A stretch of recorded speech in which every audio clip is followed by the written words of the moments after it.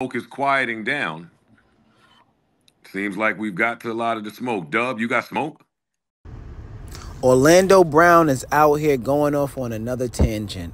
We don't know what he's saying is real or fake or if he's trolling.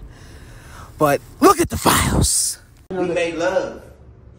We made love. That's Who you made love with? Diddy, Bow Wow, um, Busta Rhymes. You just told me you see Busta in, in the airport too. That motherfucker tried to act like he didn't know you. You smashed Drake? uh, no, I never smashed. Oh, you made love to Drake. And and um, uh, Katt Williams. Terrell, uh, what's his name? Uh, uh, what's his name? Uh, uh, uh, Bro, you smashing a lot of people. uh, what's that nigga name? Uh, Terrence Howard. Terrence Howard, Terrence Howard. Uh, oh. Terrence Howard. Um, Usher. Usher's a gusher. And What uh, the fuck?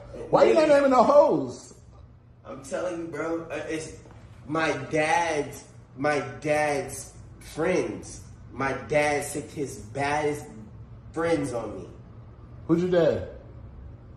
Lucifer. I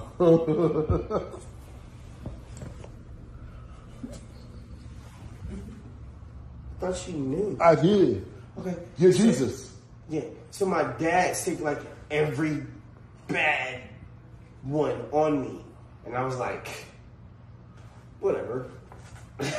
whatever. But the babies matter now. And I'm like, nigga, not my kids, cause y'all tripping. So as you can see, man, people rather record these videos of him and go viral and get these clicks rather than try to get this brother help.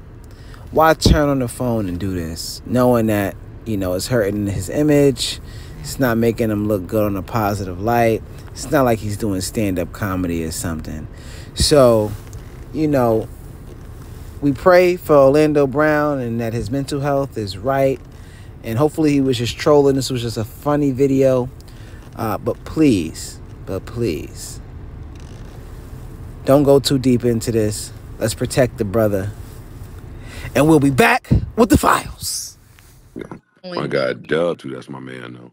Gang gang. That's my man, Big Dub.